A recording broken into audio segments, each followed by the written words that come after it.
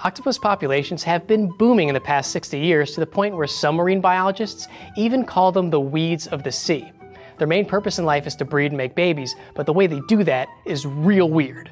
Check out this Facebook video we made to see how octopuses do the dirty. The octopus has eight tentacles, and in the male, one of those tentacles is also a penis.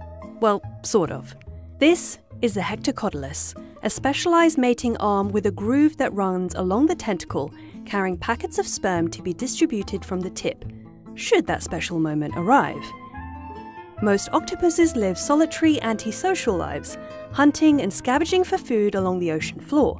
However, when the time arises, they mate in a very intimate way.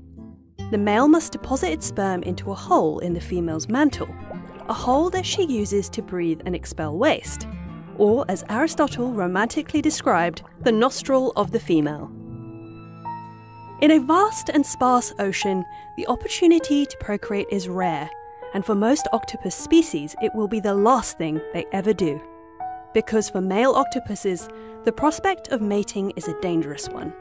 You see, the female is often larger, hungrier, oh, and a cannibal. So, in order to protect himself, he must make a careful and considered approach. For longer armed octopuses, the move of choice is the reach. To keep their distance from the cannibal female, the male will stretch his mating arm as long as possible, keeping his distance while he copulates. Some species will even wait until the female is foraging for food and therefore too preoccupied to eat them. And some species have evolved beyond the reach. More cautious males will simply detach their mating arm and give them to the female. The hectocotylus will stay intact in the female's mantle until the female is ready for fertilization. Once the copulation is complete, the octopus's life mission is complete. Both male and female will experience a dementia like state of being after mating called senescence. The male will experience this alone. They do not eat or return to their dens and will eventually die from their weakened state.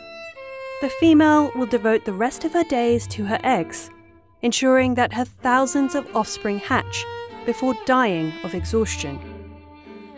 This unconventional courtship will create 56,000 eggs, and because the yield is stable, only two will survive to maturity.